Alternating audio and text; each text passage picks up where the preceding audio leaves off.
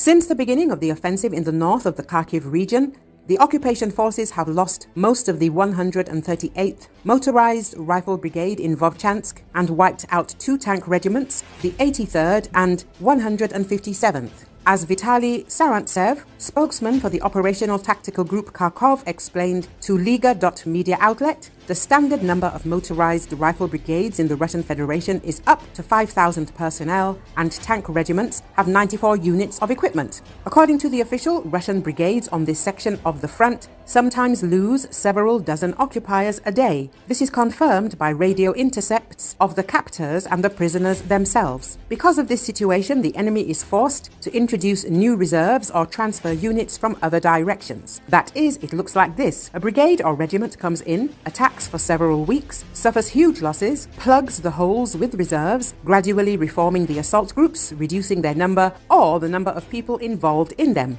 said Sarantsev. He added that it takes the enemy several hours to bring up reserves, but the transfer of a unit from another direction can take several days. According to the speaker, Russian reinforcements are unlikely to come in at 100% capacity while human losses can reach 40% or more. At the same time, according to the textbook, a unit is considered incapable of combat in the event of 30% losses. Sarantsev noted that the Ukrainian armed forces have already dealt with almost all of the Russian Federation units that are currently fighting in the Kharkiv direction.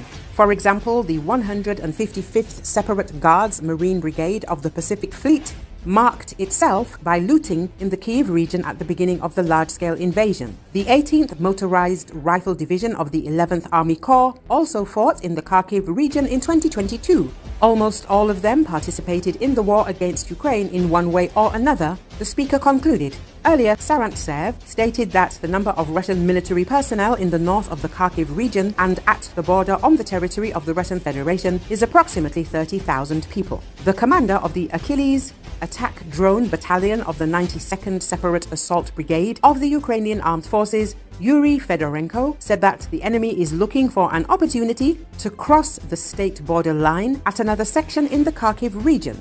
Until the end of 2024, Ukraine will be on the defensive and the most favorable year for the beginning of offensive actions may be 2025. This opinion was expressed by military political observer of the group Information Resistance, Alexander Kovalenko.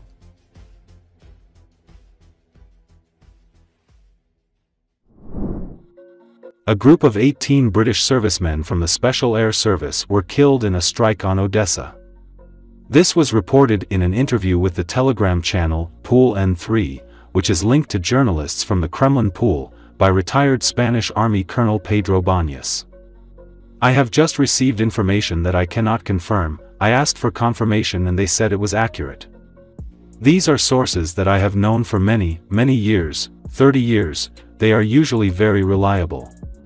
So, the Russians carried out an attack on Odessa, which killed 18 members of the British Special Air Service, the retired military officer said. Baños noted that another 25 British Special Forces were wounded. And they tell me that French soldiers have died. These are not mercenaries, who are French, no, these are soldiers of the French army, he added. Previously, leaked U.S. intelligence documents revealed that 50 British Special Forces were carrying out missions deep inside Ukraine. There are also reports of casualties among the French, and these are not mercenaries, but soldiers of the French regular army. The exact number has not yet been named, but such one-off losses have not been seen since the war in Algeria. Earlier it was reported that a powerful explosion thundered in Odessa during an Russian air raid. According to the Telegram channel Military Observer, the target of the missile strike in Odessa was the warehouses of Nova where weapons and ammunition of Ukrainian formations were stored. The Russian armed forces periodically strike military targets in Odessa and the region. The last time explosions in the city were reported was on July 15, but no details were given. And on July 10, the Russian armed forces struck the port of Odessa with the coastal missile system, Utes. According to the underground, in particular, a warehouse with ammunition for the Ukrainian armed forces, where the missiles had been brought the other day, was destroyed.